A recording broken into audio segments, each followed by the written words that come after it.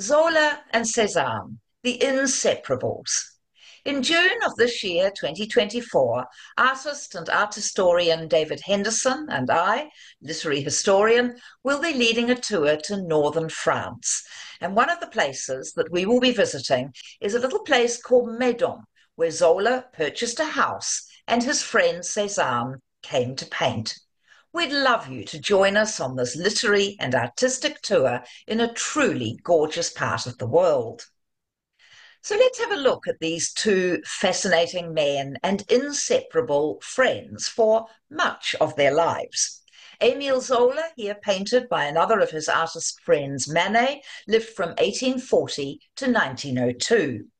His good friend, Cezanne, here in a self portrait, was born in the year 1839 and he outlived Zola by just a few years, dying in 1906.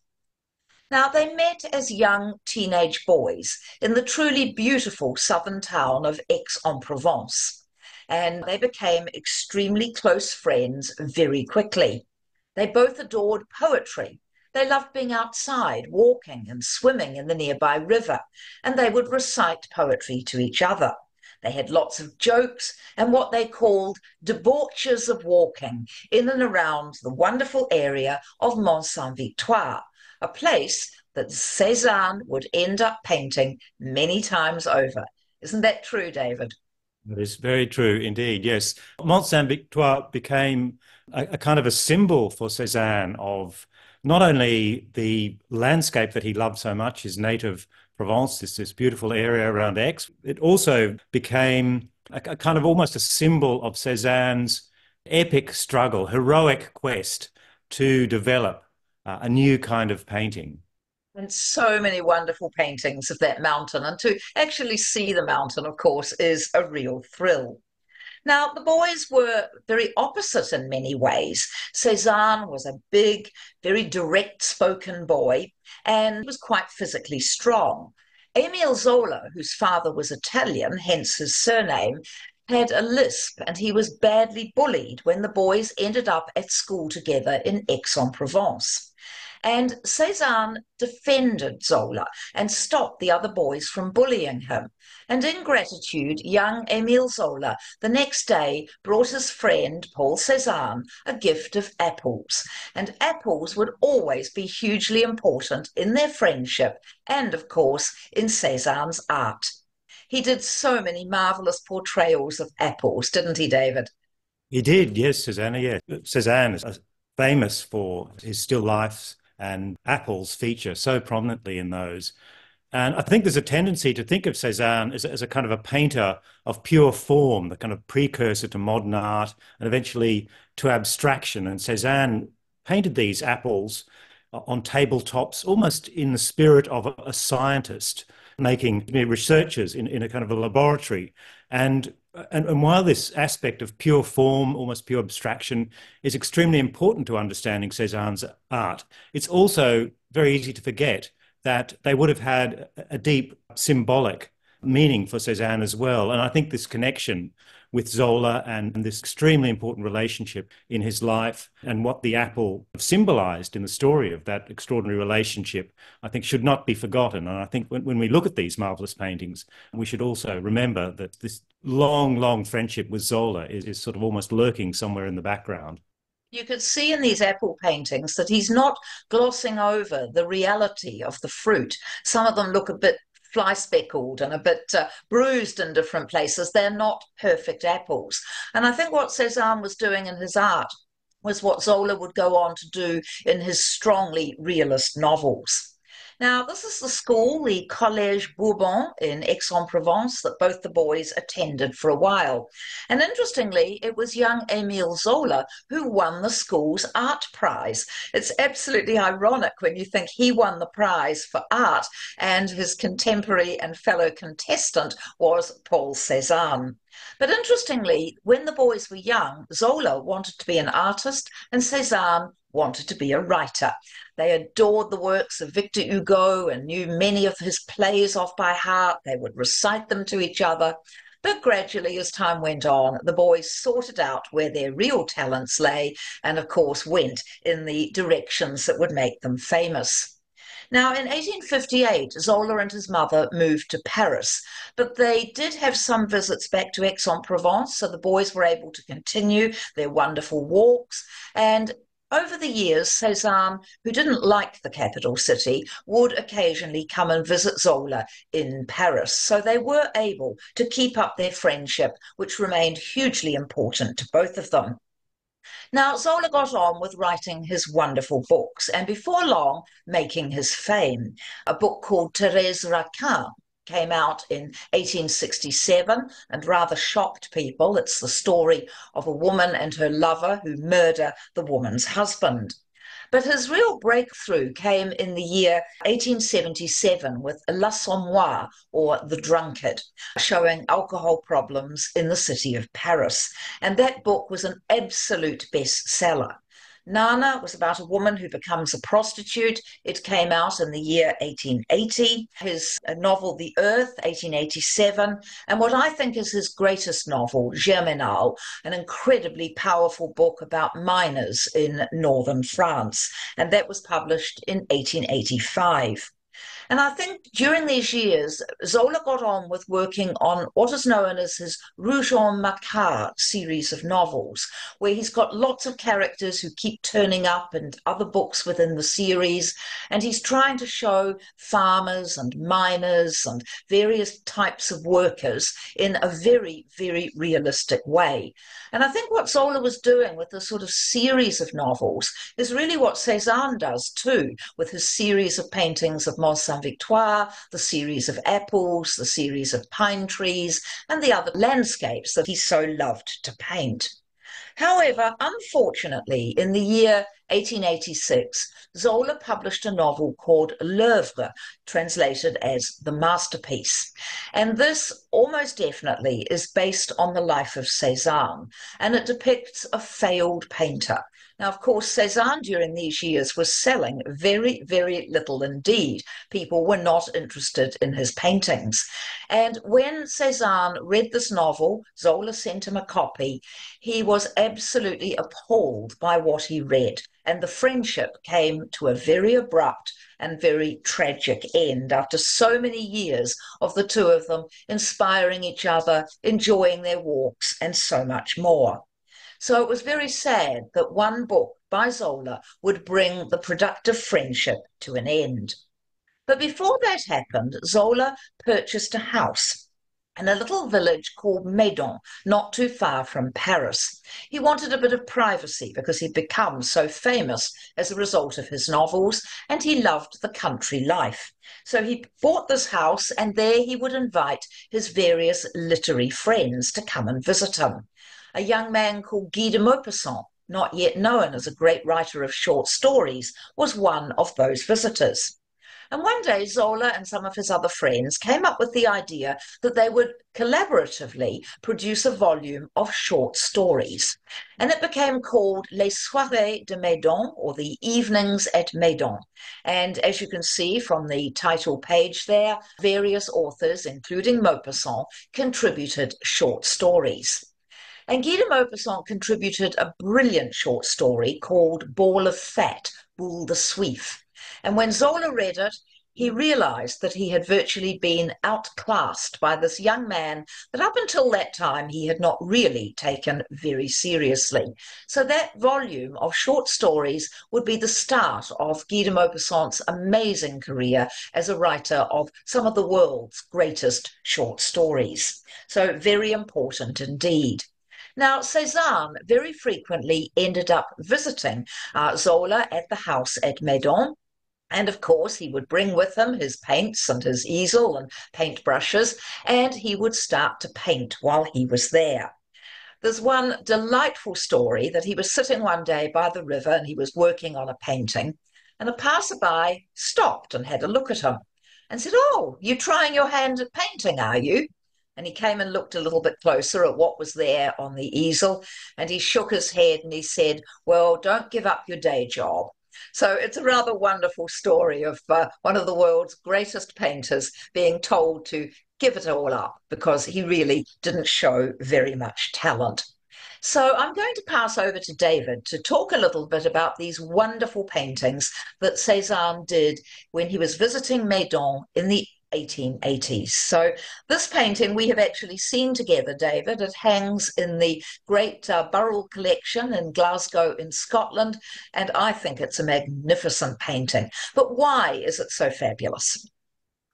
Well, it is a magnificent painting, yes, in the wonderful Burrell collection in Glasgow. It's considered to be quite a pivotal painting in Cezanne's oeuvre, in his, in his body of work.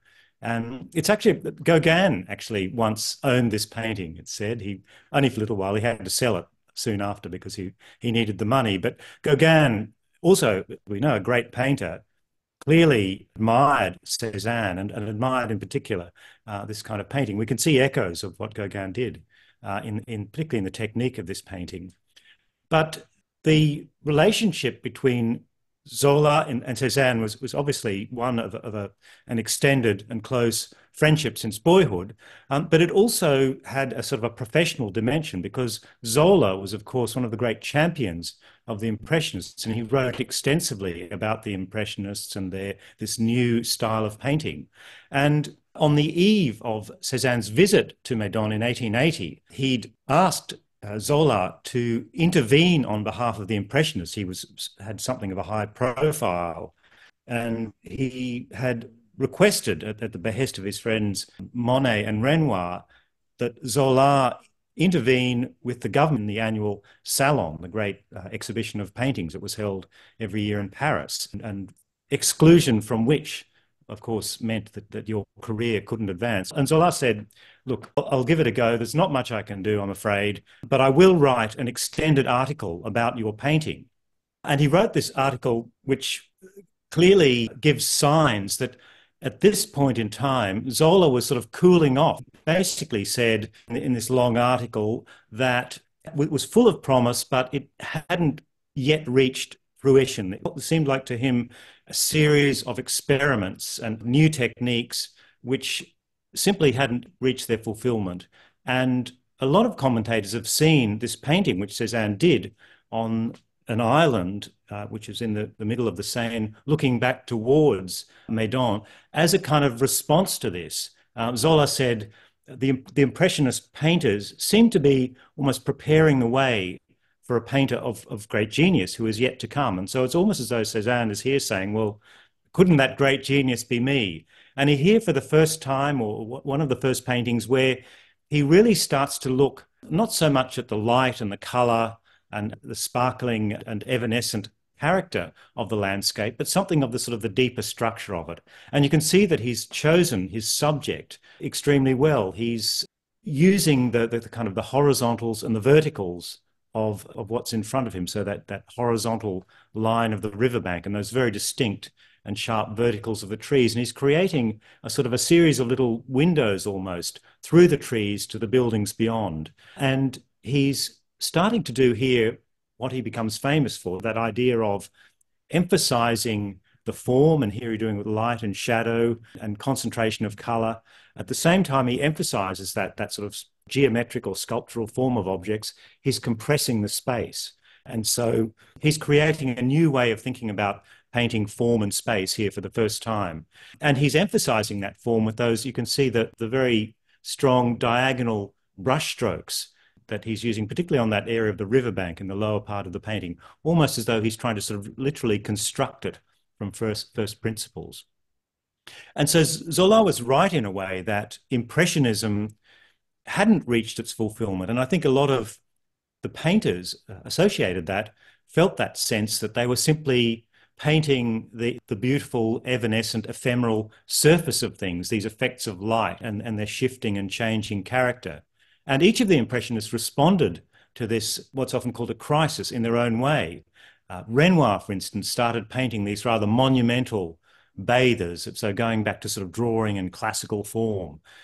Monet said, Well, I, still want to keep painting this shifting and changing surface of things, but I'll paint the same subject over and again. And on our tour, we'll be visiting, of course, uh, the town of Rouen and seeing the, the famous cathedral that Monet painted in so many different lights.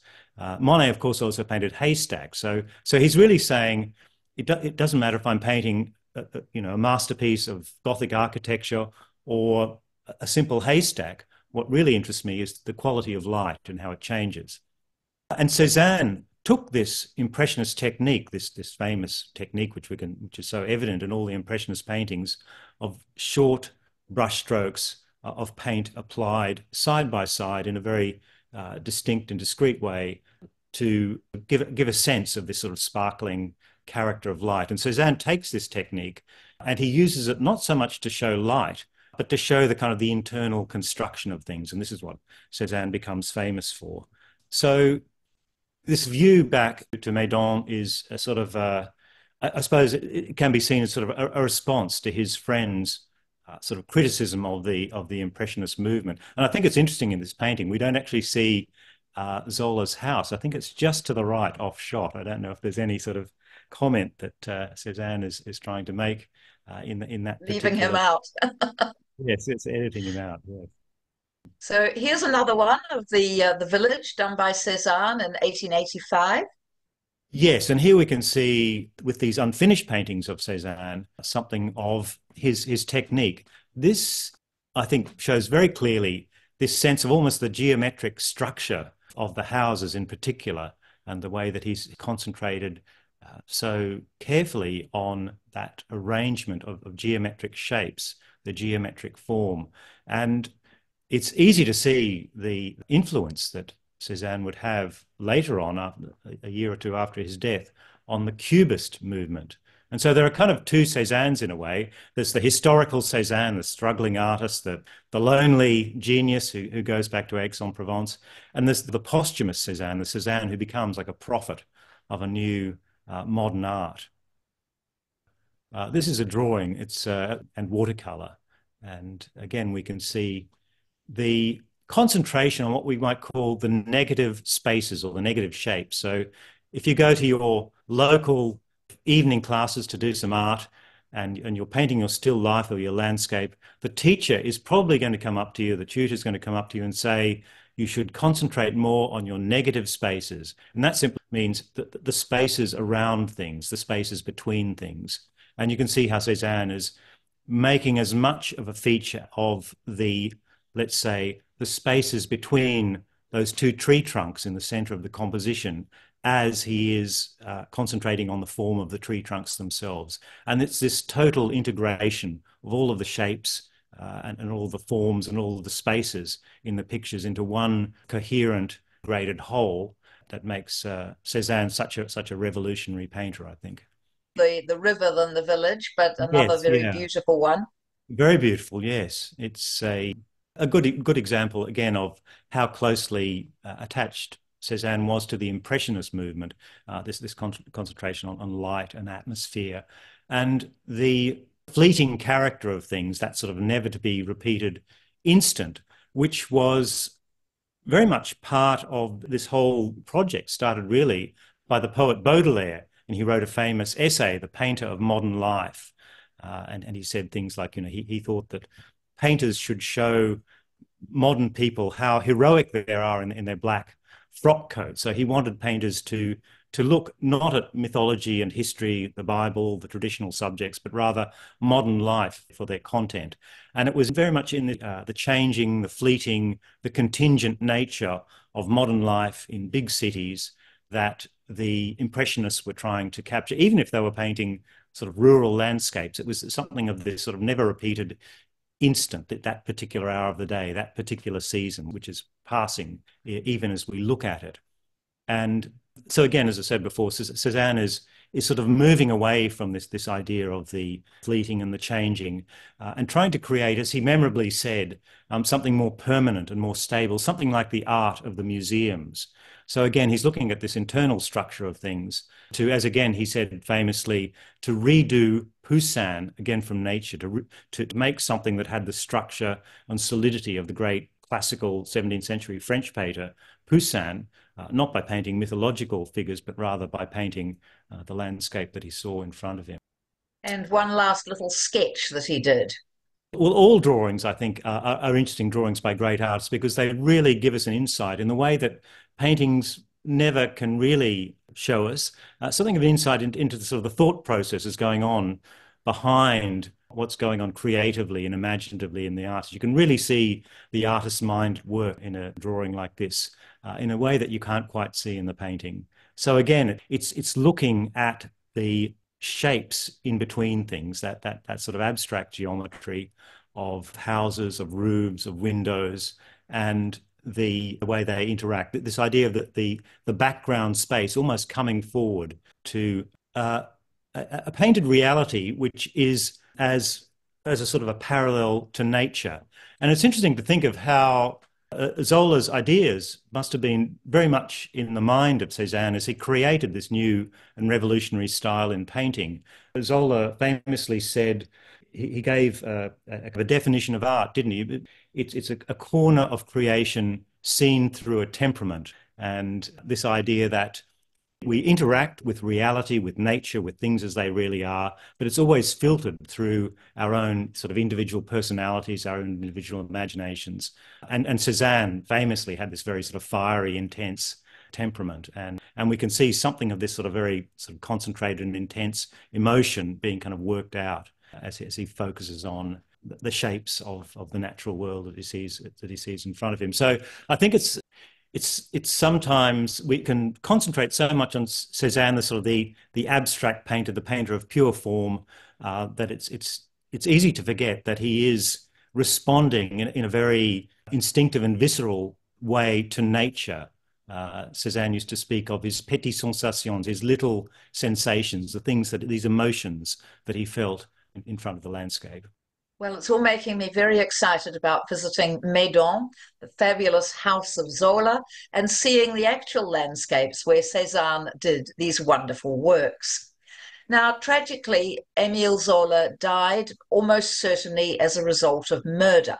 That is still being discussed by biographers today, but his involvement in the famous Dreyfus case, he was a great supporter of Dreyfus, had made him very unpopular with certain members of society, and almost certainly he was poisoned by having uh, a flue into the room blocked up by a workman. And although his friendship with Cezanne had officially come to an end. The two men had ceased to see each other and to correspond. It's been said that when Cezanne heard the news of his friend Zola's death, he went into his room and he howled almost like a dog in his terrible grief at the loss of Emile Zola. So, a fascinating friendship between the two men, both incredibly great in the artistic fields that they finally got themselves sorted out in. And of course, they have left us a truly wonderful legacy. The Tour de France in June will take everybody to Normandy, to Brittany, to wonderful cities like Rouen and Amiens. Uh, we actually do head down almost towards the centre of France. We visit amazing art museums where David will talk to us about the paintings and the statues that I'm really looking forward to. And we visit places connected with wonderful writers, their homes, graveyards where they're buried. We eat in restaurants that they loved, and we have an amazing artistic and literary pilgrimage through northern France. David and I would love you to join us on this very special tour in June 2024.